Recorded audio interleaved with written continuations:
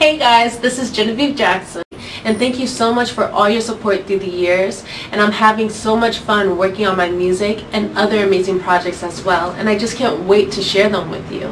But until then, please check out my latest song, Where They Love, and I hope you enjoy it. Thank you.